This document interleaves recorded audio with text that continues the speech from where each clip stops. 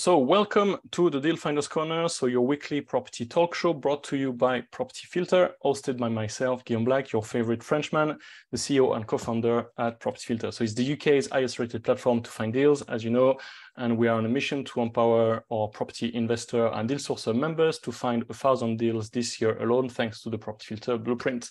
The purpose of these Deal Finders Corners is to give you more and the best of the available resources, inviting expert guests who will share with you the latest and most current strategies, tactics, and secrets about what actually works right now in terms of finding and making deals and the reality of systemizing and running a high performance business in property. It really is my pleasure today to introduce you my good friend Simon Zutshi on today's Deal Finders Corner and is going to reveal with us the secrets uh, to thriving in today's property market.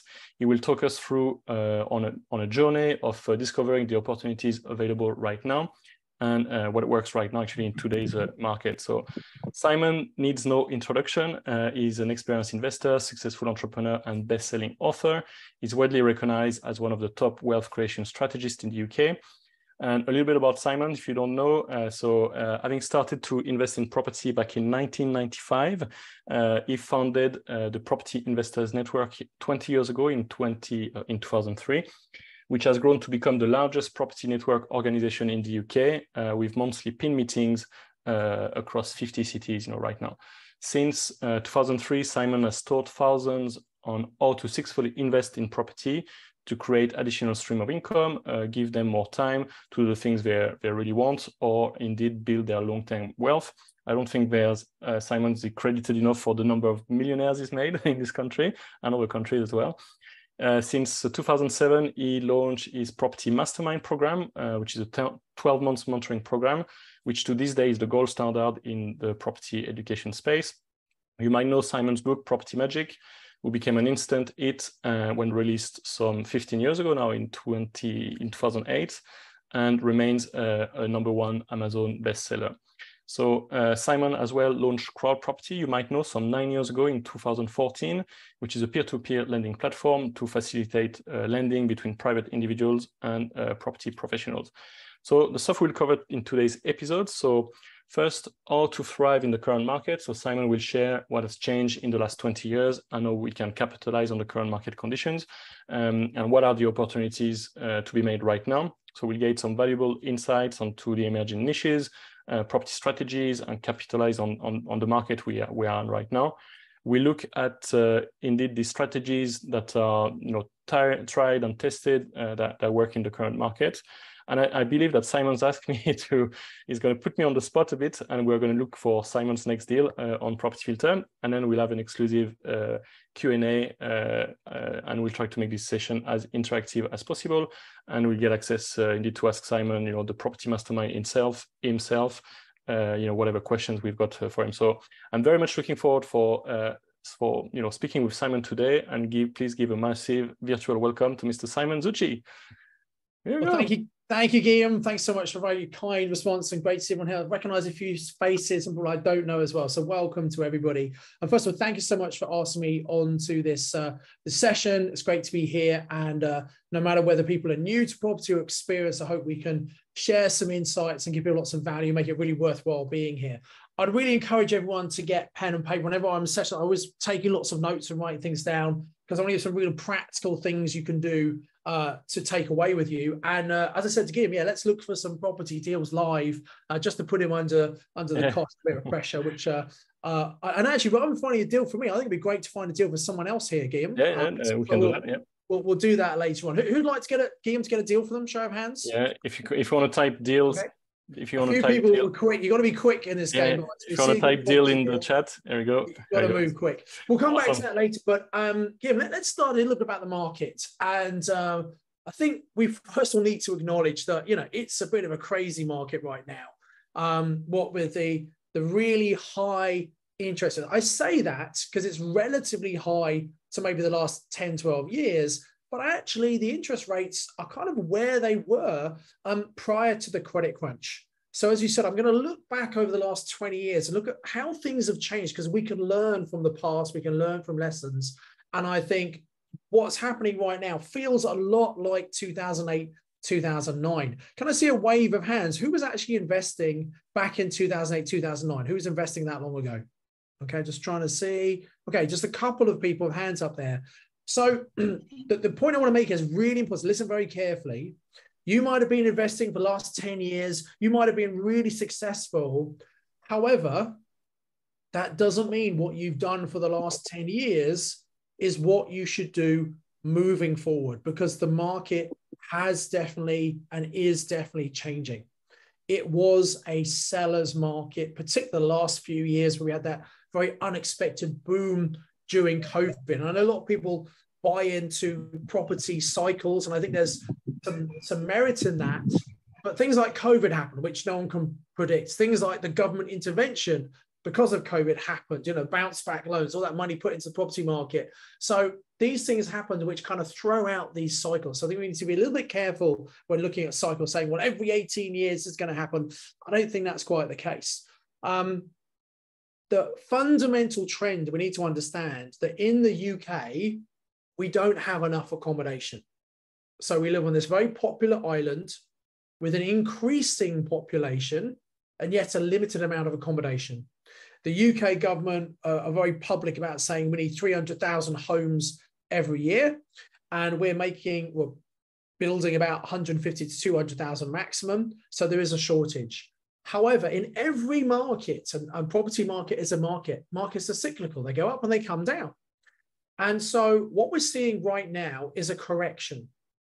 I don't think we're going to see a crash like we had back in 2008, 2009. I mean, I don't know, I might be wrong, but what happened back then, just a quick history lesson for people who, who weren't investing at that time, we had a real boom from 2001 up to 2007. And that was caused because a lot more people became aware of property. The internet became obviously a lot more uh, popular. We had websites like Spare Room, Rightmove, Zoopla were created, which which didn't exist when I first started to invest, um, which is kind of before the internet. We're really showing my age here now. Um, and so it's amazing. You think before the internet, it's not a statement you really think about very often, is it? But that's the reality. Um, and so a lot more people uh, became aware of property.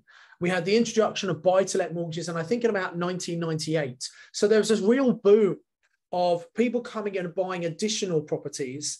And also, we had something called a self certification mortgage in the mid 2000s, where basically you could sign to say you could afford something and they wouldn't actually check your ability to pay the mortgage. Um, and so this is probably what caused the credit crunch, really, because lots of people took out mortgages, which they were never, ever going to be able to pay back. Um, there was lots of irresponsible lending by banks, but also lots of irresponsible borrowing by people who were just signing to say they could afford things. So what happened was all this uh, these mortgages, which was actually toxic debt that was never going to be paid back, was sold on and sold on and derivatives, etc. And so in about 2007, in America, they start to realize that the supposed AAA uh, debt bonds they had weren't very good. And that's when the credit crunch started. And it came over here. And, and, our first victim in the UK really was Northern Rock. You might remember the pictures back in 2007, November, of people queuing round the branches of Northern Rock trying to take their money out. And it was the first real bank crash we'd seen in modern times, really. Uh, and as you know, the bank, uh, the government had to step in to bail out Lloyd's and all the big banks, etc. And a lot of bank banks went down. Interestingly, a lot of property training companies also collapsed because they'd been teaching people during the boom period how to buy property. Any, any idiot could buy property when prices going up, but when prices came down, everything changed. And lots of people actually lost their portfolios, lots of money. Uh, it was very difficult to get finances. Banks stopped lending, and some really creative strategies such as purchase lease options, which are very new to the UK, and vendor finance. These all came into play massively in 2008, 2009. And the reason I'm telling you this is because I want you to learn from the experience when when most people were shying away from property, oh, property is a really bad thing. There was a small group of people who were educated and recognized actually, when you have all this uncertainty, there's also a time of massive opportunity. And myself and my clients and other people were buying lots and lots of property 2008, 2009, and have done very, very well from that. So I don't think we're going to see the same kind of crash. We're seeing prices come down, and that's partly because of the high interest rates. Affordability is difficult. So we'll talk about that when we come to what might be the good strategies. But the reality is, right now, single let properties don't really work. Uh, they just don't stack up for mortgage purposes. Um, and a lot of landlords uh, who have been doing very, very well for years and years are selling up. And you always get some people selling up and retiring. You get some people coming in new to the industry. But for the first time, um, actually, it started in 2015, but for the last seven, eight years, it's been getting worse and worse, where we've seen more and more landlords selling up. And although new people are still coming in, less new people. So there's actually less rental stock available, uh, which is one of the reasons why rental values have actually shot up. And of course, because of inflation. So whilst many landlords are selling up and getting out the game, and you might be thinking, well, is it is it really a good time to get in?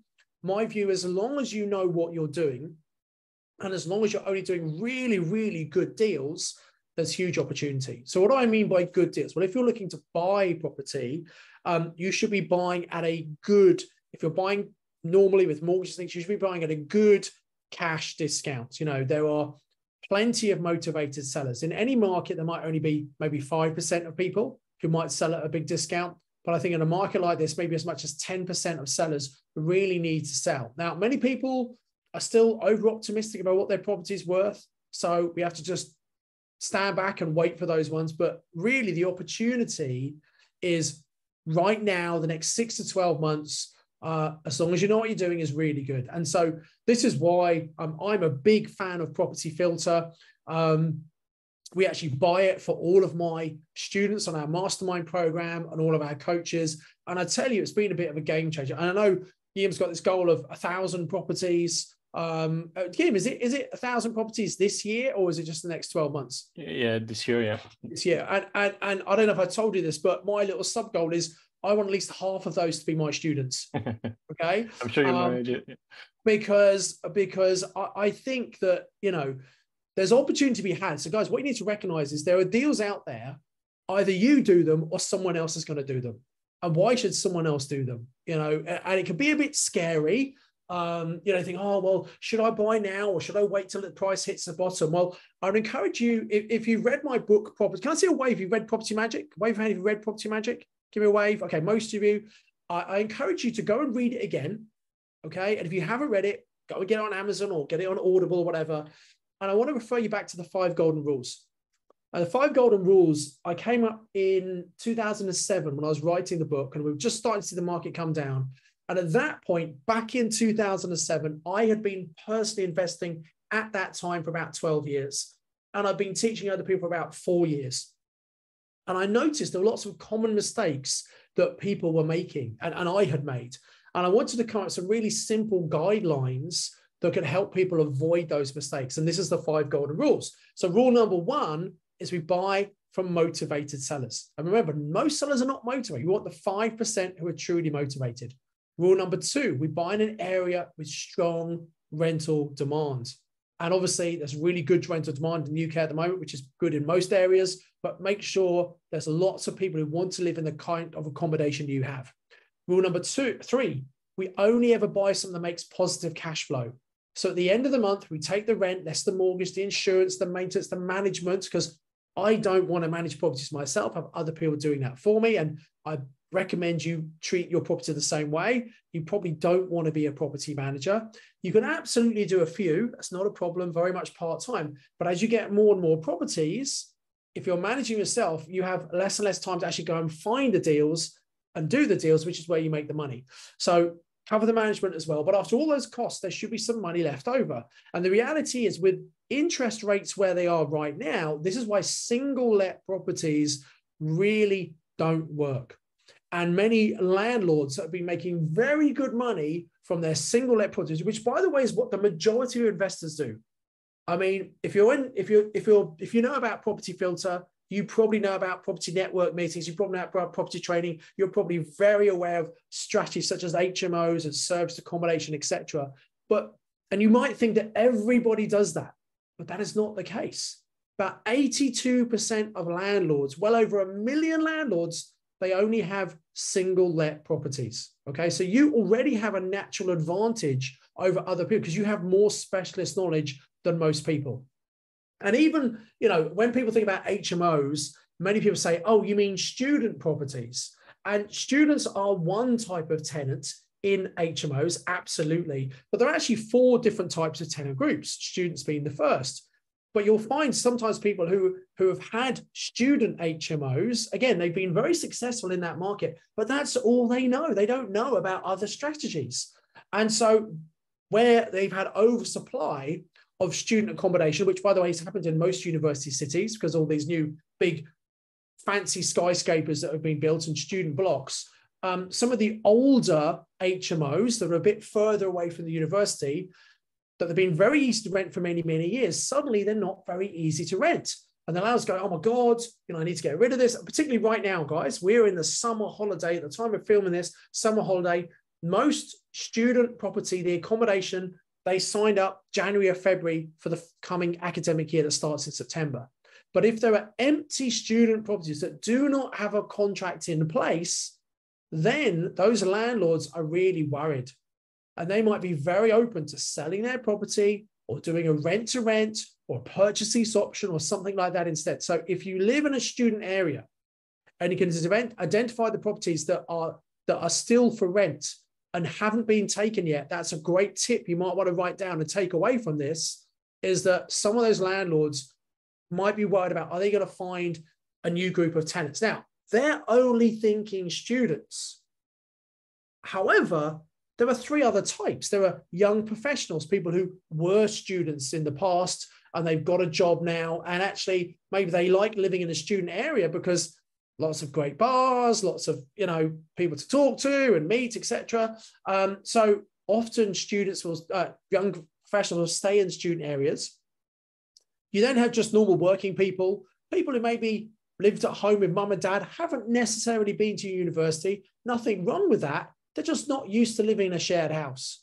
And actually, living in a shared house is far more cost effective than it is living on their own in an apartment or studio, where as well as the rent, they have to pay all the bills. So a lot of people move from home into a shared house. Um, so that's a, a, working kind of tenant. And then finally, there are tenants who are on benefits. Now, I don't think it's a good idea for you personally to rent your property to people on benefits. But what many of my students do, I don't do this personally, but many of my students do, they rent to charities who then take care of those students. And you can actually get pretty much the full market rent from the charity because they get a lot more from the local councils, but you don't have to pay bills you don't have any maintenance or council tax, etc. So again, it can be really good. But as I said, most landlords don't know about this, or even if they do, they think students are the only type of HMO tenants.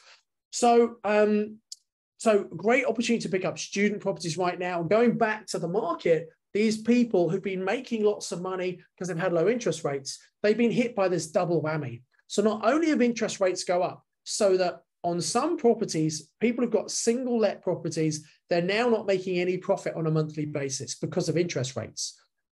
Also, they've got this double whammy effect because if they own property in their own name, which most landlords did prior to 2017, and if they've got a mortgage, which again most landlords have, and if they're a high rate taxpayer, which not all, but some some landlords are, they're also hit by Section 24. Now you might think that everybody has changed and put something in place to counteract Section 24. I was speaking to Mark Alexander of Property 118, um, who uh, they, they have a particular method of helping landlords. And he, he, he, his company have helped probably more people incorporate to avoid Section 24 than anyone else.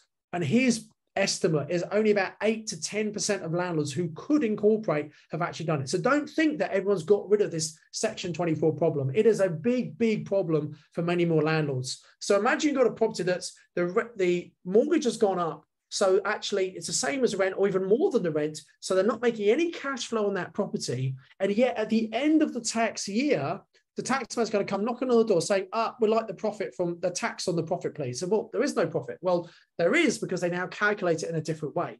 So, and I'm sure you've heard lots of this before, but I just want to make sure you're crystal clear to understand why so many landlords are selling up and why that's such a huge opportunity for you. Now, you can't necessarily take on a single let and use it uh, in the same way. But if we do HMOs or serviced accommodation, which are more advanced strategies, then what we can do is we can use that property in a much more cash flow positive way. So actually, if we're buying it and getting a mortgage, well, that works for us because we've got such a high cash flow. And even if you're a new investor, you can still get a six bed HMO mortgage on a completely uh, new company with no track record with lenders like Kent Reliance. So even if you're completely new or you've only got single lets, you can absolutely get into HMOs without thinking you have to have HMO experience. So whilst the majority of the market are panicking, sitting back, waiting to see what happens, and lots of amateurs are doing the same thing, if you're educated, if you've got great tools like property filter, you can get in and you can negotiate. Um, I was at our mastermind workshops uh, last weekend. We had one on Friday and one on Saturday. And a lot of our students are using property filter and finding lots of, but I want to give you some tips and hints on this. Um, some of them are saying property filter is great, but I'm finding too many deals. I'm finding hundreds and hundreds of deals and I, they just get overwhelmed.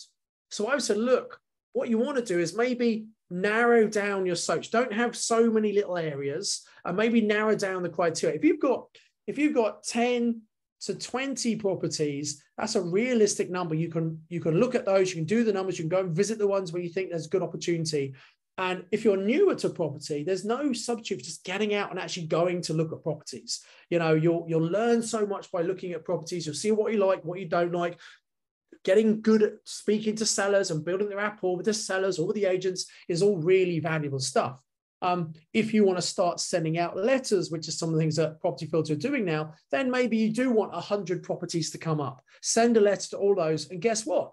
the calls will start coming in. Because the whole point about property filter and, and you know, Guillaume came to some of my training, our three day accelerator, and on, on, that we used to teach people how how to look on Rightmove and save themselves loads of time and find the properties where probably the sellers might be motivated. Things like where the sales fallen through, or was listed with duplicate agents, or it's on for sale or rent, those kind of things. And Guillaume took that uh, with the team and they created Property Filter that does a lot of this work for you. So that's why I absolutely love the software because a lot of the principles behind it are, are kind of what we teach, which is brilliant. And he saves so much time. So by look, using this tool carefully and in the correct way, you can find great opportunities. So what should you be looking for right now? Well, a couple of things. Uh, I, I do think that off-market opportunities are uh, very interesting because there are lots of landlords who are thinking about selling, if you can reach out to them before they decide to put it on the market, you don't have as much competition. So that's one market. Or let's think about what's on property filter. Properties that are on the market, they might have been on for a while. The sale might have fallen through. Um, we can see things like indicators like dropping the price, great indicator they're motivated. And the ones that are motivated, we can reach out to them. The other lesson I want to share with you, one of my masterminds was sharing that he said, Well, I'm, I look at what they're on uh, what they're listed on, and none of the deals are really stacking up in this particular guy's area. And I said, well, you need to be careful. Don't assume that the price it's listed for on Property Filter is the price you're going to pay. You know, a number of our masterminds were sharing that actually they're paying significantly less than it was listed for on Property Filter because the whole point is Property Filter's finding the motivated sellers. So what I would suggest you do is is do your searches, find some properties, do the numbers to see if they work out. If they don't stack up, work out what price would stack up based on the rental income that you know you can achieve. Work backwards, say, okay, well, what price could I afford to pay for this based on getting a mortgage, how much the mortgage will cost, etc. And that will give you a level that you can start going in and, and pitching at and negotiating at. And rather than saying to the agent, I'll just put a low offer and you can actually justify, well, I'm putting this price in because these are my numbers. Here's how it works. Okay. And I think you get a lot more credibility doing it that way. Um, the other thing to look for, uh, I believe what happened in 2008, 2009 was a lot of these creative ways of buying property became a lot more popular. Purchase lease options and vendor finance. Now, I find that whenever I speak at events and things or something like this, a lot of investors have heard about purchase lease options. In fact, let me just ask you, let me ask for a raised hands here. People who are on this Zoom, give me, give me a wave if you have heard about purchase lease options. Give me a hands up. wave. Okay, that's probably at least half of the group. Okay, put your hands down, please. Now put your hand up if you've actually done, personally done a purchase lease option. Now, isn't that interesting? I don't, I can't see any hands going up. Okay. So I would suggest. Got uh, Victor. I think Victor is. Uh, oh, Victor. Okay. Okay. Victor. Okay. So uh, there's usually a few, normally there are people who've done our training, right? Um, but this is one of those things that people think they know about, but they don't really understand. And, and I really encourage you. And by the way, a slight plug here my next book, which is hopefully going to be out end of this month, maybe beginning of September, is all about options, by the way. So look out for that because it's a massively misunderstood. If you if you really understood it, you would be doing some options, believe me. So for those who don't know, an option, purchase lease option is where you find someone who typically they want to sell a property, so we can find them on property filter, but they don't need the money. Now let's be clear here. Most people who are selling a property, they're selling it because they want to access the equity in that property. Okay, that's what most people do. However, some people they don't need the money; they just don't want the property anymore. So, two examples could be a landlord who's retiring. They've got a number of properties, they're selling them up. They don't need the money from the sale. They're probably going to put it in the bank, but they just don't want the hassle of the property anymore. Or maybe an inherited property where someone has passed away. They've given the, the property to the kids. The kids don't really need it. Never, never cost them. They're going to sell it, uh, but they don't, they don't need the cash right now.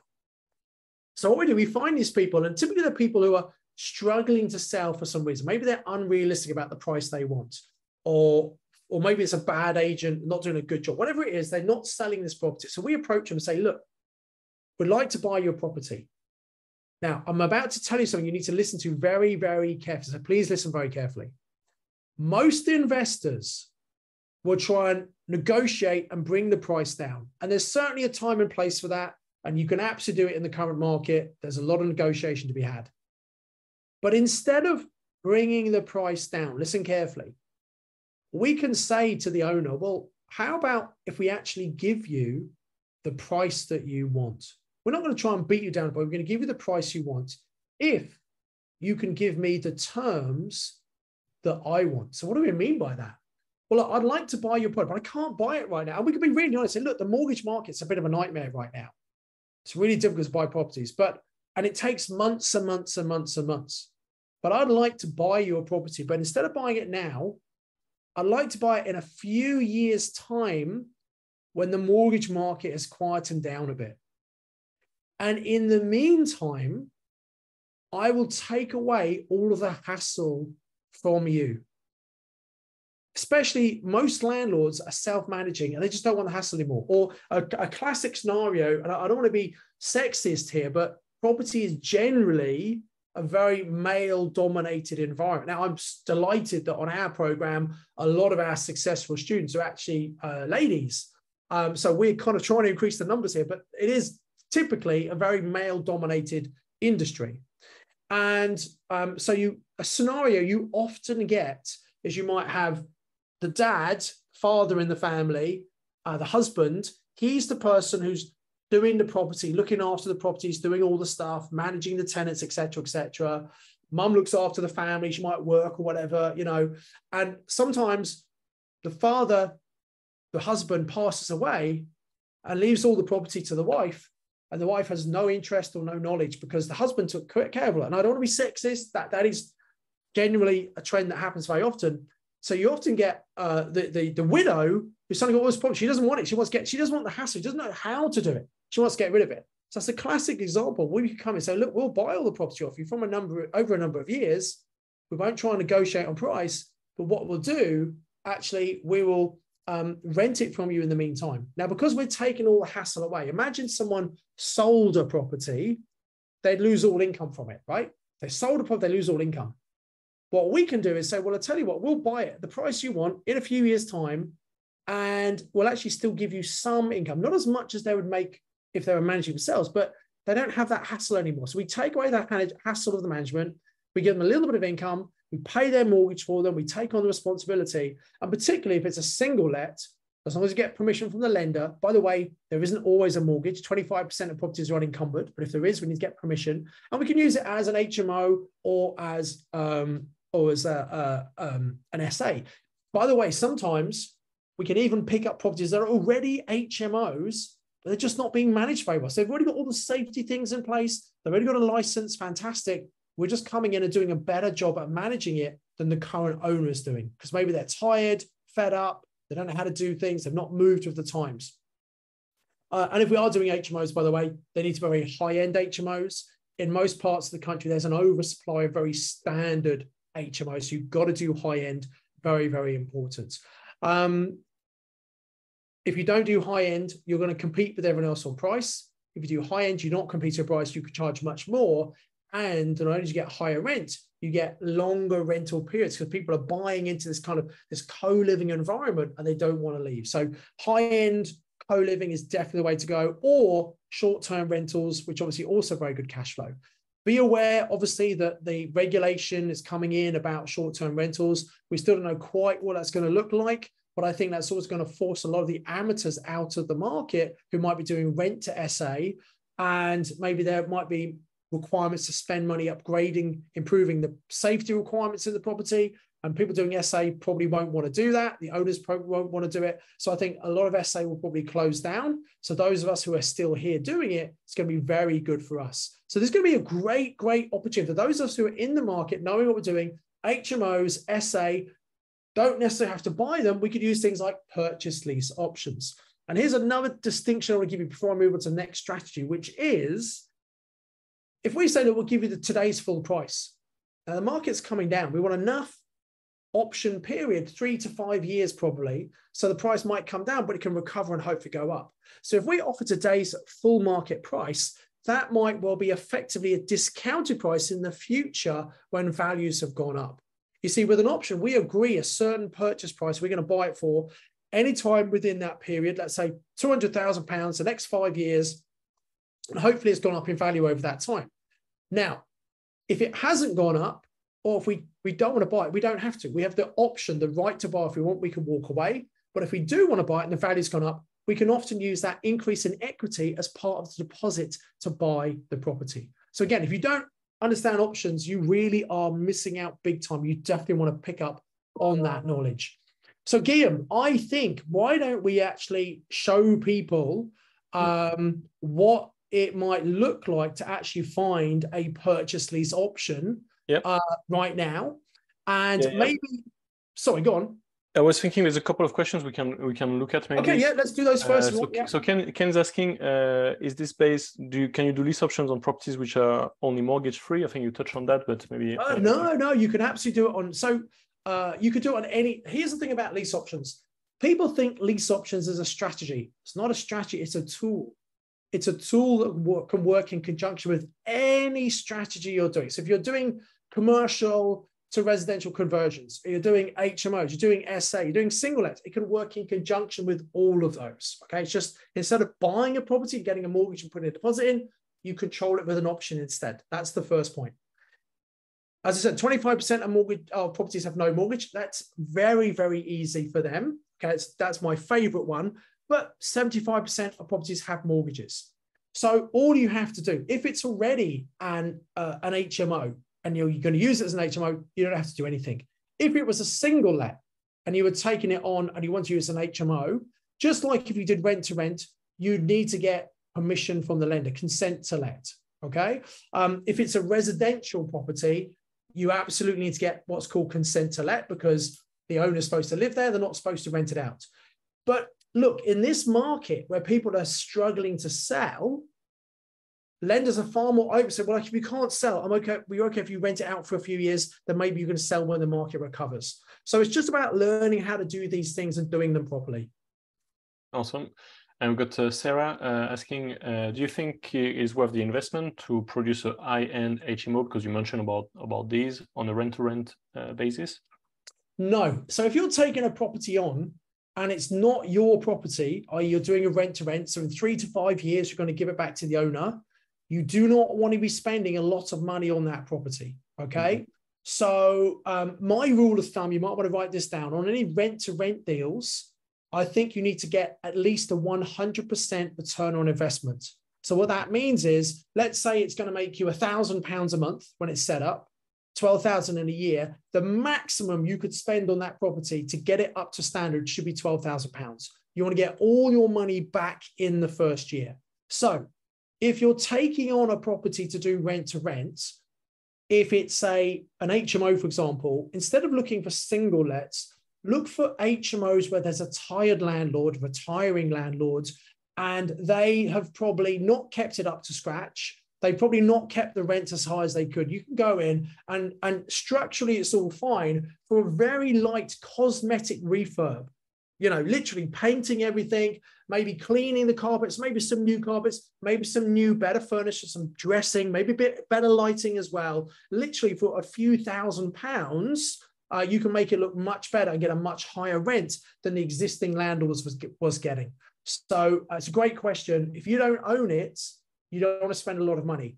However, and here's a really interesting point with an option, you've got the right to buy this property. So, in a way, you're kind of investing in something that you get the benefit of increasing the value by the money you're spending on it. So, for that reason, the return on investment we want on an option is only 50%. Because we've got the right to buy in the future, we don't mind putting a bit more money in. So we get all our money back in two years as an absolute uh, maximum, um, because we're going to get benefit of the capital growth as well. So what that means is you might look at a deal that look that doesn't really work as a rent to rent because the money you have to put in, but it would work as a purchase lease option. So just an interesting thing to think about. And Guillaume, shall I share with everyone how they can turn a rent to rent into a purchase lease option? There we go. Yeah, it's going to be quite okay. interesting. So to do rent to rent, you probably you find a landlord say, "Hey, would you be like to get a three to five year guaranteed rental income on your property?" And they say, "Yeah, great." Some do, some don't. Um, and if they say yes, then all you have to do is ask them an extra question. You want to write this down, guys. So the first question is, would you like to do a three to five year rental guarantee? Yes, I would. Second question is this and if I like the property, would you be interested in maybe selling it to me in that time period? Okay. If I like the property, would you be interested in selling it to me in that time period? And if they say yes, you know, they're open to potentially selling. And obviously, you've got to negotiate what we call the heads of terms, the price, the amount of time, how much you pay them, etc., over each month. But in essence, they're agreeing to that. So always, always, I suggest try and get a purchase lease option first and if they don't want to sell because they want the long term growth, you can downsell to do a rent to rent. So, in my view, PLO and rent to rents are very similar, but PLOs are so much more powerful and more flexible. That's right. There's a few other questions, but uh, mindful of time, uh, we can uh, let's go and look for someone. So, if someone's looking for a lease option, if you want to type PLO in the chat, and what we'll do is uh, uh, uh, you'll come up. There we go. Ewan was the first again, uh, and then yeah, let's, do one for Ewan and then one for Sarah. So Ewan, do you want to come on mute and and uh, tell us um, tell us more about your area? Hi guys. Hi Ewan, good to see you. Hi so, Ewan, how are you? Where, where, where you based? Where do you invest? Leicester. Leicester, yeah. Okay. And uh, what sort of cash flow strategy you're looking on the other side? Is it uh, going to be a I, I, would love to find PLOs. Um, I'm trying to get into HMOs. Um, yeah. I, have seen quite a few. Um, I use Property Filter on almost daily basis, but um, similar to the, what you said at the front there, Simon, there's a million deals and it's it's uh, spinning plates, isn't it? So okay. I'll try to help you with that. And it's exactly as Simon says. Simon says, uh, uh, sorry. We've, we, have we, uh, trademarked that, by the way, Guillaume. Uh, I know, I know. You, you I know. Uh, so, so yeah, less is more. You know, like it's it's all about yes. being uh, really niche and clear about about what you want, and really yeah. hammering down the area with with this. You know, and the mistake people do is they go too wide of an area, too broad of yeah. a criteria, and then they are back to where they were before property filter, where they have this endless list. You know, and the idea here is to is to have a, a short list because most people will have time to do five, ten viewings a week, and you want to to do this in a, you know in chunks you can manage. You know, and the beauty with Property Filter is just to shortlist these red hot leads, and so you just go after those five and ten best ones. You know, and then the next week you do the next the five the five and ten uh, uh you know yeah. the next best uh, motivated ones. Cool. So I'm going to share my screen. And uh, yeah, so Ewan and Simon, feel free to comment as we go. So yeah, the, the way the way this works is you uh, we set up a lead generator in Leicester. So uh, we'll put a, a Leicester uh, postcode, uh, which is not this, sorry, which is LE, LE1. What, what's the specific postcode you and you're looking for? We we look around uh, most of Leicester, you know, like like this. Okay, fine, yeah, um, okay. I just wanted to demonstrate how the French French a Frenchman can know uh, postcode geography as good as anybody else, but uh, I failed, you know, miserably. Uh, so you might want to go look around Leicester or like little towns that works for you and agglomerate the postcodes that uh, that are good. LE3, LE19, uh, Guillaume, really. All right. Okay. Yeah. yeah. And obviously, the, the more niche you are, the less potential leads you'll get. Um, but I think it's good to uh, start sorry. and then if you're not getting enough, you can always expand the area, can't you? So you said you're you're on, on which one? Sorry, LE nineteen. LE yeah, LE nineteen uh, and LE three. And okay. you, is, that, is that because you think those are particularly good areas for HMOs? Yeah, predominantly. So, um, oh, sorry, I already got. Uh, I've done your learning before, Simon, and you, I know you, you have. Yeah, I recognise you. Yeah. Thank you. You, you talk about not just um, uh, students, but but but others as well. So there's yeah. um, um nursing university, uh, the Leicester Royal Infirmary, um, other employers, other hospitals, whatever. There you so go. It's, it's, there's good transport links. There's all kinds of things. Um, awesome. A lot of that area is, is, Article Four, but you know it's still the, the, the hot area to be. Yeah, awesome. So that's great. So what I've done is I I've came down to just the, the south of Leicester. Is that okay? Thank you. Got 19 and three, and I've uh, I've sort of chucked these in as a bonus. Uh, and then here, the way this would work is you can choose some of the those filter templates and you can, there's two main ways you can find those lease options. And one is those properties that are for sale as well as to rent. And then if you want, we can put more criteria in there, but just for the purpose of this, uh, let's set these up. We'll call this lease option for sale and to rent. I see, so we've got these set up in, in, in seconds. And then where do we start? So what this does is, is match and merge, you know, anything that comes from all, all the portals, you know, like it's the equivalent of having Rightmove, Zoopla on the market, Prime Location, and quite a few others all in one place. But where do we start? We know that all of these are for sale as well as to rent. Uh, and 26 is a good is a good number you could go after in a in a, in a matter of weeks. But what what should you focus on this week alone? And it's where we've got this motivated seller banner on the top on the top left. And if you only do one thing this week, is look at these properties that are for sale uh, as well as to rent, but also where the price has been reduced and it uh, it uh, you know the sell fell through came back on the market. These are the ones with the biggest signs of motivation, and you've got quite big quite big properties as well. Uh, you can exclude here. You know this includes a an option an auction at a very attractive uh, you know bidding starting bidding price. Uh, we can exclude these from the filters if you want. You can put a, a maximum price on things as well uh, but that's that's sort of how, how, it would look like. So we've got something here where uh, they valued for 685 back in September last year. They've dropped it all the way to five uh, 500. It doesn't seem like they've had a sell fall through, but what what seems to happen here. Uh, so you know the blue line is the price history, the background is the availability status. I mean, when we've got a small strip like this, it's often when the agents refresh the listing when they take it off, take it off and put it back. Uh, but we, you've got all the all the history here. The beauty with this one is that uh, it's really it's really large. You know, it's 250 uh, square meter. So there might be some scope for uh, for doing some different exits, different developments. Uh, and uh, you can see here uh, the price per square meter on this property is is is um, yeah, so it's pretty close to the actually pretty close to the average. I would expect on a large property, usually smaller. And what you see is that uh, it's a large property, therefore it's expensive, but you can see here comparables of a four bed properties go for a lot less. Um, and they add this, uh, they, they've had this for, to, this is an existing HMO, it seems, and these are uh, a room, the, the last room that they have let, and you can see the history of, uh, of these here.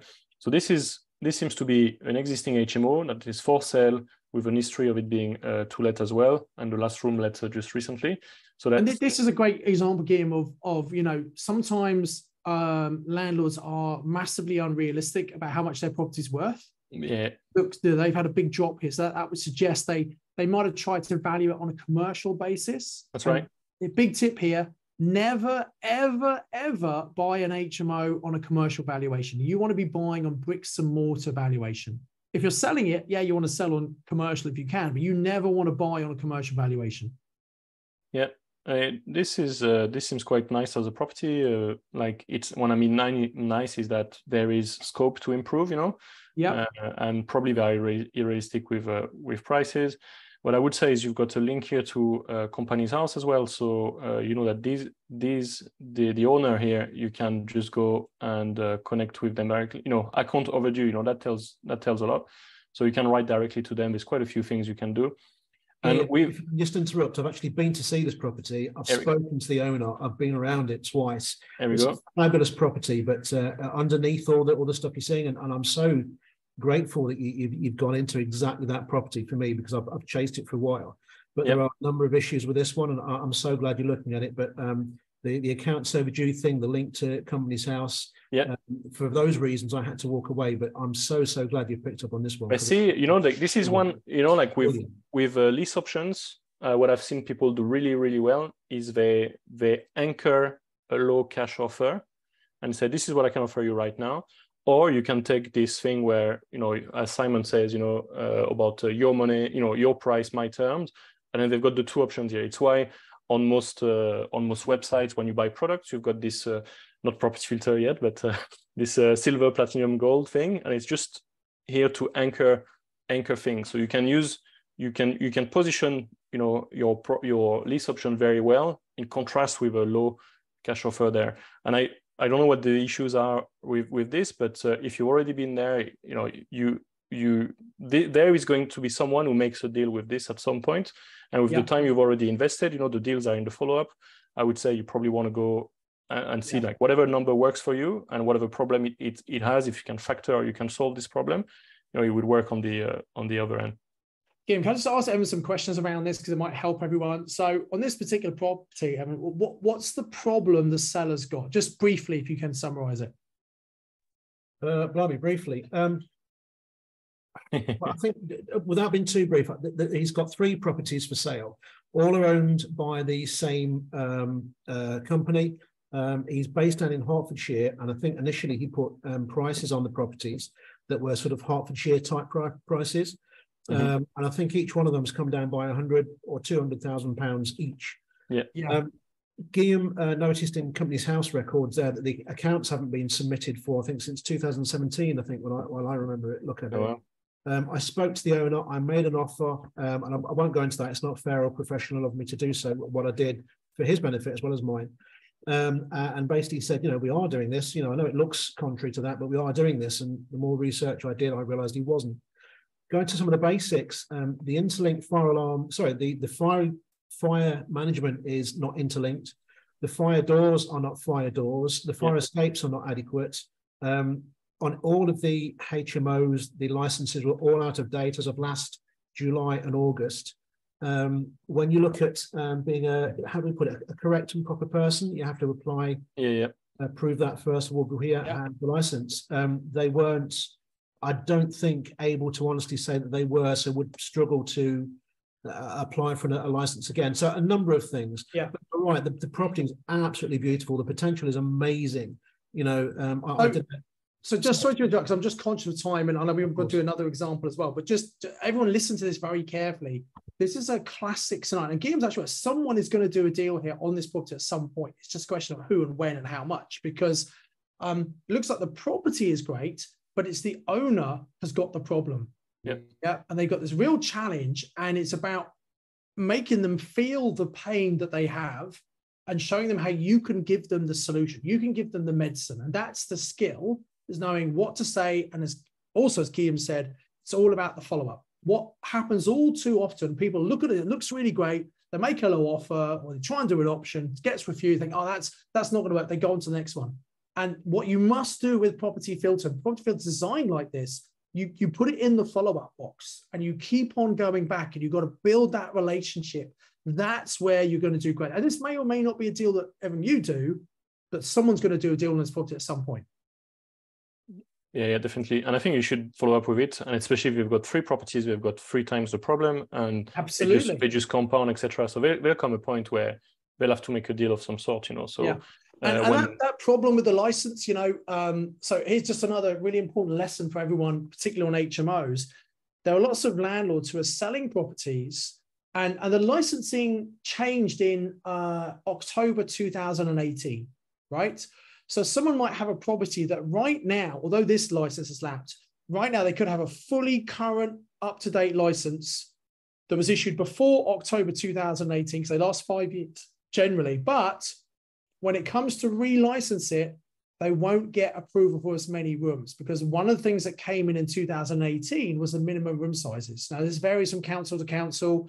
The national standard is 6.51 uh, square meters in a single room and 10.2 for a double room. But the whole point is when you're buying an HMO, particularly if it's an existing licensed one, it's critically important that you check the room sizes and make sure they are big enough to comply with the local council standards because when you buy it or when the current license runs out, uh, if you're doing an option, you will need to renew the license. So you want to make sure you can absolutely do that. So that might be one of the challenges that this guy's mm-hmm. got as well.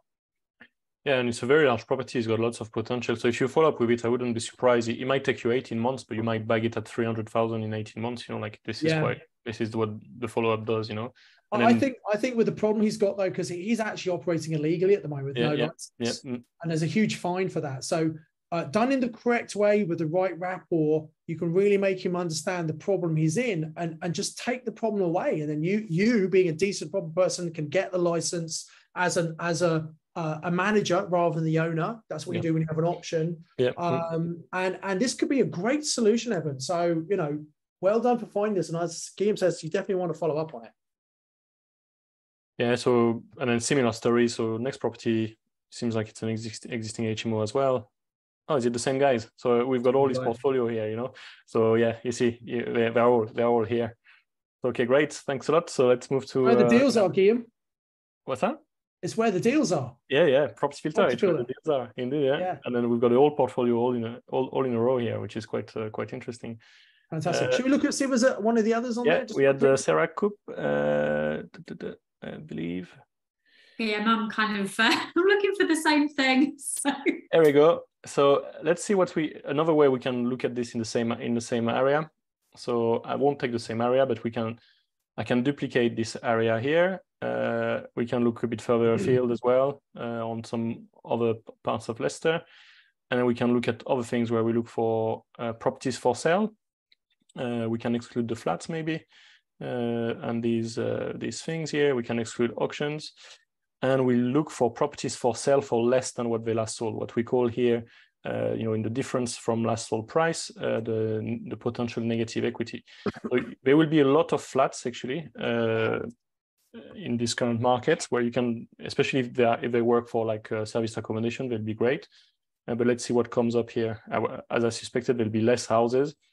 Uh, but uh, still quite a few and these are all houses for sale for uh, for slightly less than what they last sold. And again, it's the same thing where where do we start? We start for, with these where the sales fallen through uh, and was reduced. And so we've got something here which is with two different agents. So it's right now with these guys uh, Nest uh, since sorry since October last year, and since the first of January they've been with this uh, this uh, Spencer guys here. And what it seems like is that they they've now dropped the price all the way down to what they last bought, and they actually only bought it a, a year ago, which seems crazy. But they've only bought it a year ago, and they and they they are looking at selling already, and they it seems like they are struggling to to match the price they they got previously. Uh, so that might be uh, something. Let's see the next one. So this was again so so it's a similar one where it's a bit yeah, crazy. So people bought properties last year and they're trying to get rid uh, just now. So yeah, interesting story. Let's see about the what do we have the next ones. We've got something a bit uh, obviously. Let's look at this one here. So this is this is this is this is uh, wow. So somehow they they they spend 450 on this, and they are now trying to get 315. So it's a bit of, of an out of town uh, sort of area. But this is where we we'll, we'll look at pitching uh, lease options. Let me see if I uh, add the flats for this example to see if we've got a bit more uh, things where we can work on actually. Let's see. I'll just add some flats. I will put a maximum uh, maximum price. Know, 250 maybe, just to get uh, not to get too many results. Here we go. Uh, and let's see where we got here. So we've got something here. So this is for sale 15% less than what they last uh, sold. Uh, for sale with an history to rent. So they have bought the property in 2005 for 200,000 and they are now struggling to sell since uh, 15 months uh, at now 170. Uh, so they had two sales fall through and uh, yeah, two sales fall through a reduction and they are struggling to sell.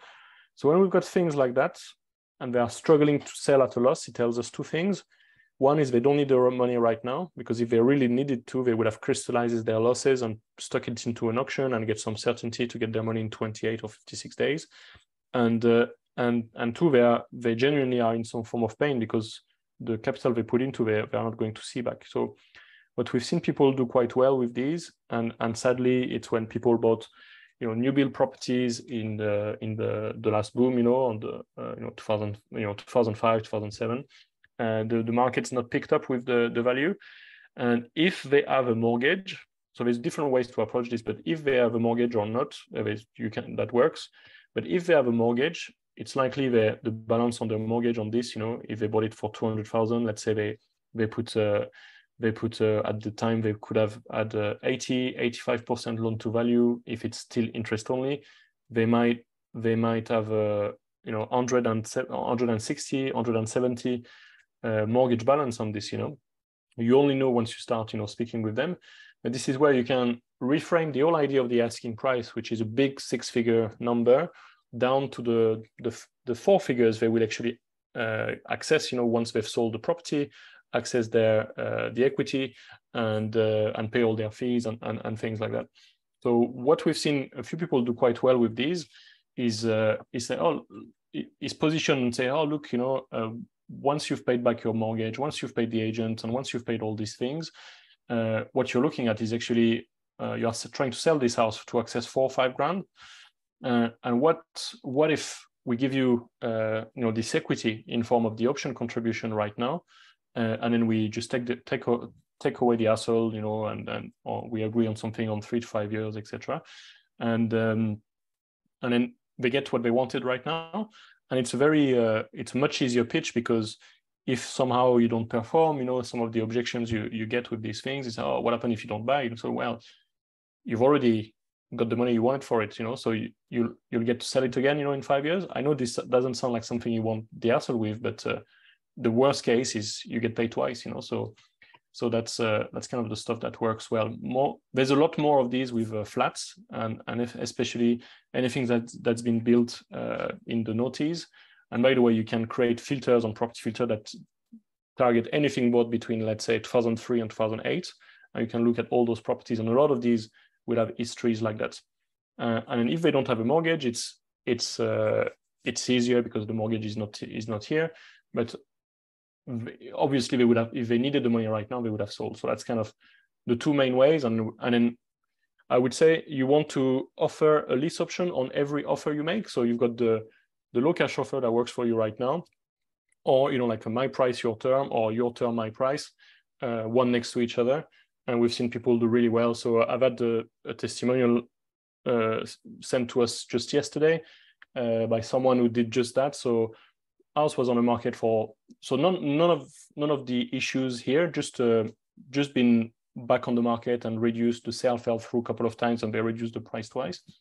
And he offered like this so i get you a lease option for 240 and we we cover the mortgage and a few things for the next uh, four or five years or a cash offer 170 and we took the 170 you know just so you never know uh, you, you never know you know sometimes. So it's always a good tool uh, because either way works for you you know that sort Would of. you uh, expect then that? So let's just say you know it's a five thousand pound um, payment. Would you then deduct that off the end point? Yeah, it's a, it's a good question. So I'll I'll uh, I'll, I'll pass this to uh, down to, Yeah, to Simon so, again. uh, You can you can agree option- everything.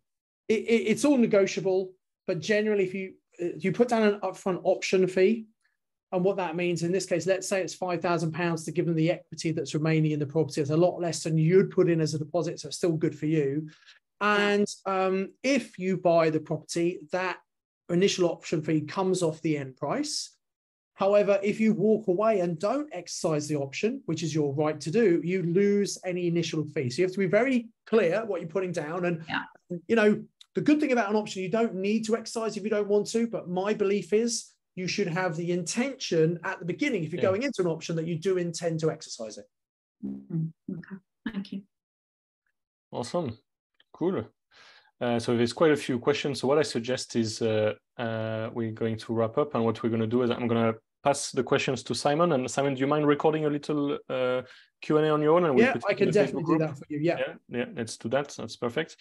So yeah, thanks a lot. Uh, thank you, uh, thank you for being here, Simon. I, so I think it's a great, great reminder for everybody. So the the five golden rules of of property investing. So as you said, we've engraved this into Property Filter. So rule number one always buy from motivated sellers it's how you know the old principles behind property filter has been has been built uh, but yeah buy to let properties don't work right now 82% of landlords still hold buy to let properties and they've got their mortgage uh, uh, running out i think that was really interesting uh, the landlords right now that, that missed on the student market will be motivated because they'll sit on empty houses from september so these are really good deals to to look at Simon mentioned about uh, Mark Alexander and uh, and the people at Property 118.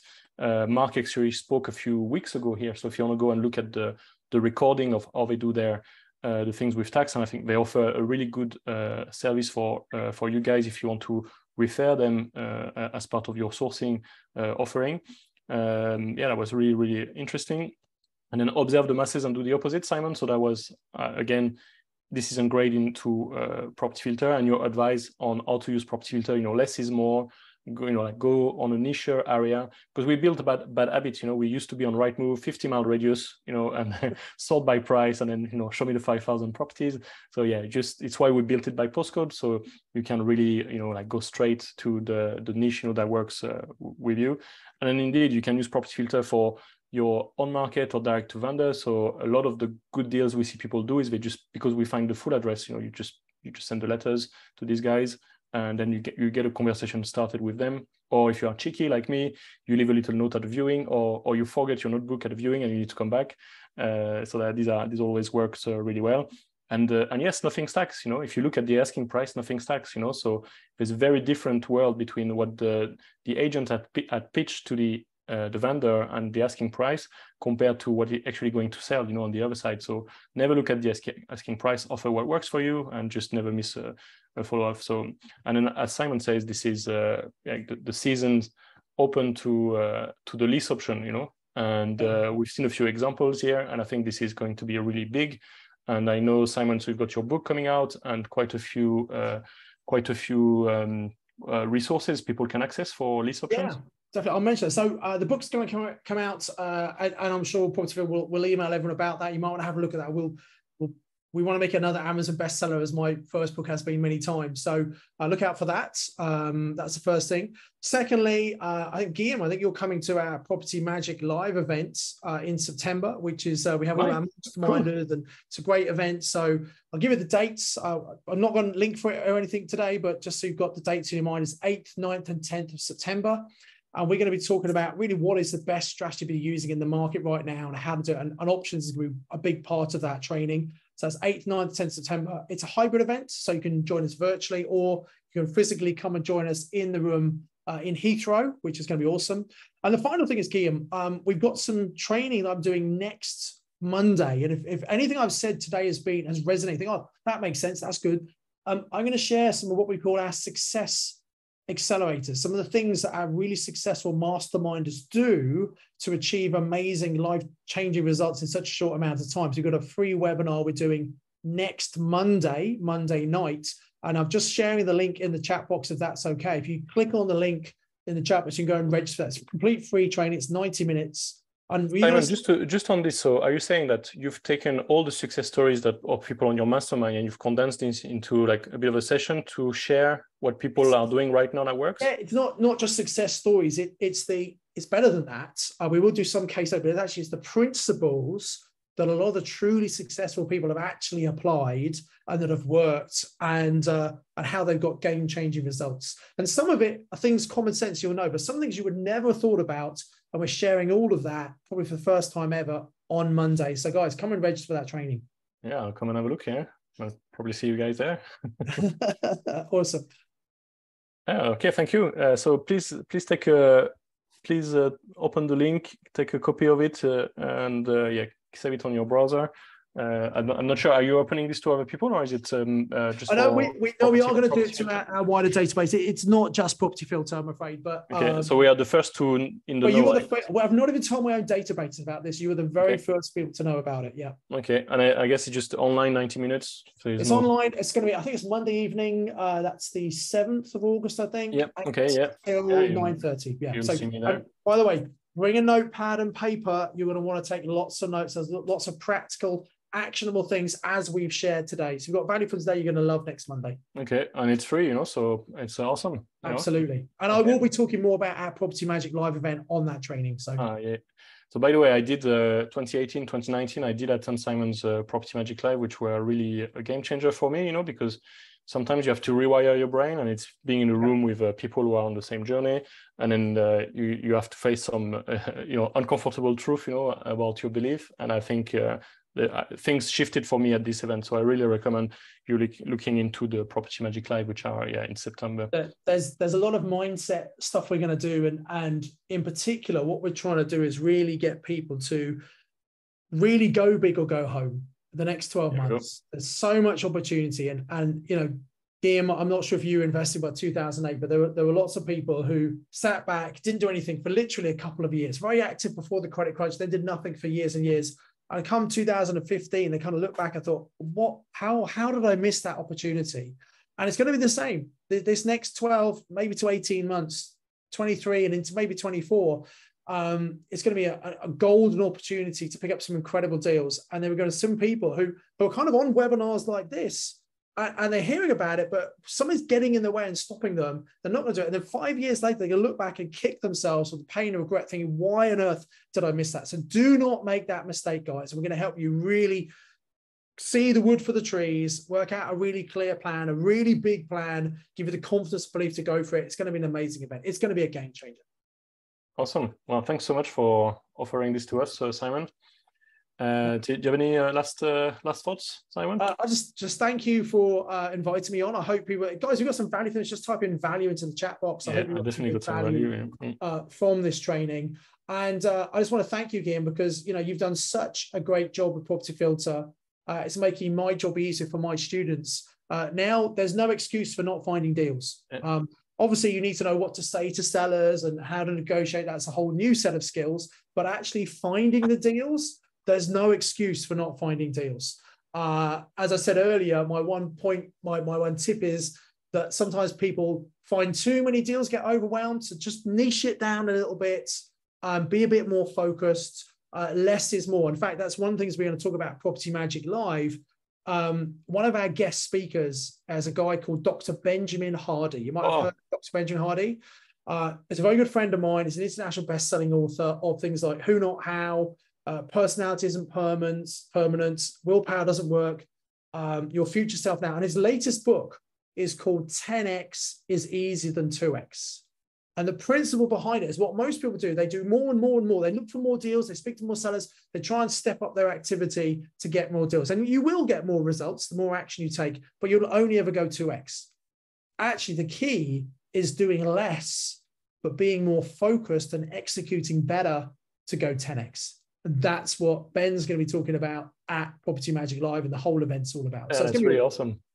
Yeah, it's really awesome. So, uh, so to put this in context, so uh, I think I think he came for his first ever UK gig to speak at Property Magic Live in. He did, yeah. He he. In fact, it wasn't his first UK gig; it was his first ever. I think you were there when you were that yeah, one. Yeah, yeah, yeah. So so his... so when I said this was a game changer for me, like I specifically uh, like like remember like uh, Benjamin Hardy's talk, and so. Yeah like if if this is a big deal you know like so it was uh, i'll come back to see him like definitely. it was it was his i i met him i i you know i'm always investing in myself. I'm in a mastermind group in america. It's not a, not a property group but it's a, a business group. And uh, I, I was at one event. I literally I, there's 60 people in the room. I have three events a year we go to. I was sat down there's one event this young guy was sitting next to me and started chatting. It was benjamin before he bought his yeah, first And we just really clicked. And he said he'd bring this book out. I said, Hey, how would you like to come and speak? So I flew him over to the UK for his first ever speaking gig. Uh, and uh, he just smashed it. He was amazing. And I thought, bloody hell, he's, I thought he is going to be just incredible. And he is. I mean, I think his books get better and better. Yeah. Uh, and here's, this is a big thing, guys. He does not do many live events. He does, he does lots of videos, but he doesn't do many live things. And I'm pulling a real favor to get him to come and do this uh, interview. And everyone who comes to Property Magic, before they come to it, we, we're buying and sending them a copy of his book um, wow. 10x is and 2x so they can read it and really get the most out of it. But it's going to be amazing. It really is. So, I'm going to be cheeky here, Simon. Uh, um, I think because I think I got the recordings of uh, Benjamin's talk on on a private YouTube link. Is yep. it uh, from Property Magic Live 2018? I, have got it saved somewhere. So if it's okay, can yes. I share this with the Property Filter community? I will. I will let you share it with the property. Yeah, as long as long as you say on there that obviously you know Ben is is speaking of Property Magic Live. Yeah, yeah yeah. yeah, yeah, that's fine. It was this talk was a game changer for me, and I'm really happy that he's coming back to UK for your event. You know, so yeah. and it, it, will be it will be different talk. It's his latest talk all about 10x. Yeah, but, this was five years and, ago. And like, just to be clear, he, he is doing this one via Zoom. He's not going to be there live, but oh. it's a live conversation I'm going to have with him, and okay, awesome. you you will have the opportunity to ask him questions because uh, we'll have a, a Q&A session. yeah, that's well worth it. Yeah, well, I'm quite excited about this Simon. Actually, I didn't know, so yeah. Oh well, there you go. and we have All some right. surprises we're not announcing yet, but there's some stuff that's going to just blow people away. This this is going to be. I'm getting excited about this. This is going to be our best ever property event, I think. And and you want it's like one of those things you want to you want to say you were there, not that you missed it and just heard about yeah, it. Yeah. Yeah, yeah, that's well also true. Well, thanks so much, Simon. Thank you for joining us today, everybody, in the today's Deal Finders Corner. So register to Simon's webinar, see uh, what uh, are the hidden strategies you know uh, that Simon is going to uh, share with you next Monday. And uh, visit propertyfilter.co.uk, log on to your Property Filter account, check out your deal blueprint, define your goldmine area, engage with motivated sellers, asset properties, assess properties in seconds, load your pipeline and make deals, have an endless supply of deals, join the top 1% and become a high achiever deal finder. I hope you enjoyed today's Deal Finder Corner. I'm really looking forward to speak to you next time. Thank you very much. Have a very good day. Thank you. Thank you Thanks so much, much Simon. Thank you, Thank you everybody. Bye.